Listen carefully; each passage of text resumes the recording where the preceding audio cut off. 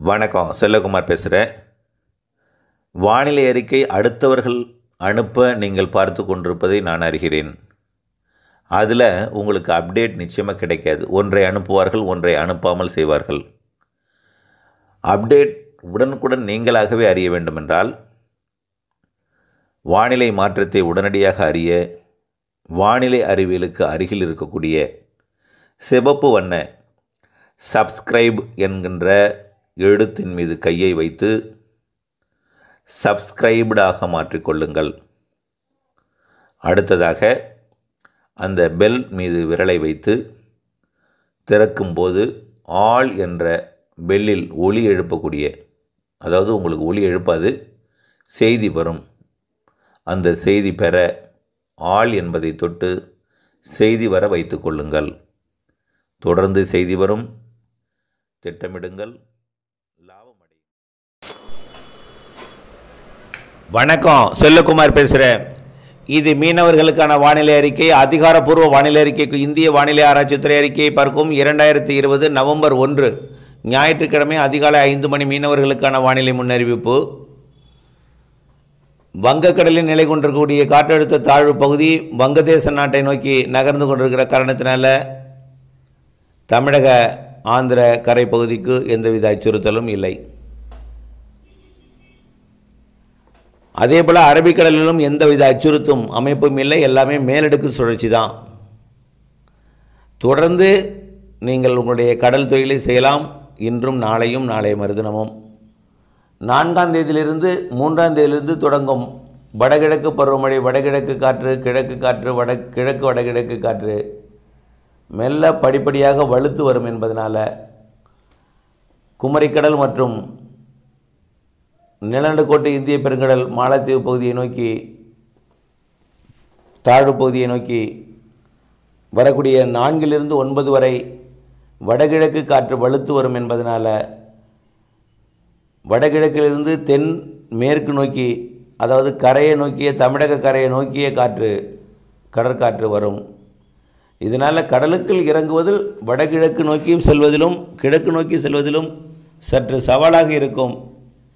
நான்காம் தேதிக்கு மேல் அதிலும் நாளை விட அஞ்சு கொஞ்சம் கூடுதலாக இருக்கும் அஞ்சை விட ஆறு கூடுதலாக இருக்கும். எதுவுமே அச்சுறுத்தும் காற்றை தவிர சவாலான காற்றை தவிர கடலில் எந்தவித ஸ்ட்ராங் சிஸ்டமும் இப்பொழுதைக்கு தீபாவளிக்குள் உருவாவதற்கு வாய்ப்பில்லை. கடலில் வடகிழக்கு காற்று வலுத்து வரும் என்பதனால் கரையை கரைக்கு கொண்டு வந்து தள்ளும் உங்களை. கரையேற சொல்லும் அப்படி. இப்போ நாகப்பட்டினத்திலிருந்து கஷ்டப்பட்டு நீங்கள் கிழக்கு நோக்கி பயணித்தீங்கன்னா அது கோடியக்கரை நோக்கி வர சொல்லும். அப்படி காற்று இருக்கும். இருந்தாலும் சவால்கள் இருக்கும். அச்சுறுத்தும் காற்று ஏதும் இல்லை. நான்காம் தேதியிலிருந்து ஒன்பதாம் தேதி வரைக்கும். அந்த நேரத்தில் காற்று முப்பத்தைந்து கிலோமீட்டர் வேகத்தில் இருக்கும். அதாவது பெரிய படகுகளுக்கு எப்பொழுதுமே எந்த பிரச்சனையும் இல்லை. இருபத்தி ஏழு கிலோமீட்டருக்கு மேலே போனாலே பிளாஸ்டிக் மற்றும் கட்டுமரங்களுக்கு சவாலாக இருக்கும். அந்த சவால் வரக்கூடிய நான்காம் தேதியிலிருந்து இருக்கும். ஆனால் எங்கேயும் இழுத்து சென்று விடாது. கரையை நோக்கிய காற்று தான் கவலைப்படாமல் நீங்கள் மீன் பிடிக்கலாம். அதுலேயும் எந்த அச்சுறுத்தலும் இல்லை. ஆனால் சவால்களாக இருக்கும் காற்று. வடகிழக்கு காற்று. தென்மேற்கு நோக்கி. தமிழக கரையை நோக்கி. ஆனால் பாக் ஜலசந்தி மன்னர் விளையாடுகளில் போனீங்கன்னா அது நேராக குமரிக்கடல் நோக்கி போகும் காற்று குமரிக்கடலில் மீன் பிடிக்கிறவங்களுக்கு மாலத்தீவை நோக்கி போகும். நல்லா கவனிச்சிங்க. ஆகவே காற்று கொஞ்சம் சவாலாக இருக்கும். சிறு படகுகளுக்கு நான்காம் தேதிக்கு மேலே ஒன்பதாம் தேதி வரைக்கும். ஆனால் சவால் தான் தவிர அச்சுறுத்தும் புயலோ மண்டலமோ பெருங்காற்றோ இல்லை. தொடர்ந்து நீங்கள் மீன் பிடிக்கலாம். அரபிக்கடலிலும் குமரிக்கடலிலும் மன்னார் வளைகுடா பாக்ஜலசந்தி மற்றும் தமிழக கடலோரம் வடகடலோரம் உட்பட தென்மேற்கு வங்கக்கடலில். ஆகவே நீங்கள் நம்முடைய வானிலை அறிக்கையில் தொடர்ந்து இணைந்திருக்க வேண்டும். இன்று கேட்டுவிட்டு ஒன்பதாம் தேதி வரைக்கும் சவால் இல்லை என்று சொன்னதை வைத்து அப்படியே நம்பி நீங்கள் தொடர்ந்து கடலுக்கு சென்று கொண்டிருக்கூடாது தொடர்ந்து வானிலுடன் இணைந்திருக்க வேண்டும். வானிலை மாறுதலுக்கு உட்பட்டது. ஆகவே கடலுக்குள் சென்றால் அடுத்தடுத்த மீனருடன் இணைப்பில் இருங்கள். வரக்கூடிய காலம் பருவமழை காலம். அதற்கு தேவையான தகவல் தகவல் தொடர்பு சாதனங்களை தயார்படுத்தி விடுங்கள். எப்பொழுதும் ஒரு மீனவர் இன்னொரு மீனவருடன் இணைந்தே செயல்படுங்கள். ஒரு படகு இன்னொரு படகுடன் தனியாக தொலைவில் சென்று விட வேண்டாம். ஆனால் தீபாவளி வரைக்கும் பெரிய பிரச்சனை ஏதும் இல்லை. அதற்கு பிறகு வானிலை சற்று சவாலாக இருக்கும்.